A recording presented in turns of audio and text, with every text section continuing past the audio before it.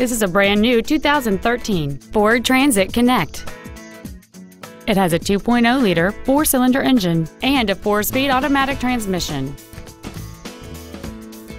Features include a low tire pressure indicator, traction control and stability control systems, a CD player, a passenger side vanity mirror, 12-volt power outlets, a passenger side airbag, air conditioning, an anti-lock braking system, cargo tie-downs, and a rear-view camera.